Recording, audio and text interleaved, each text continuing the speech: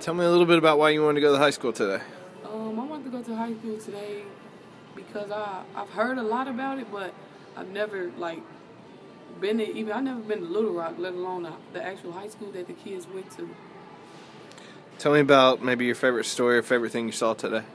My favorite story was seeing the actual clips, like how the media really did like portray the message, like you really did see like kids getting beat and just you know just people just getting and stuff just in front of schools just because of nine kids trying to go to school.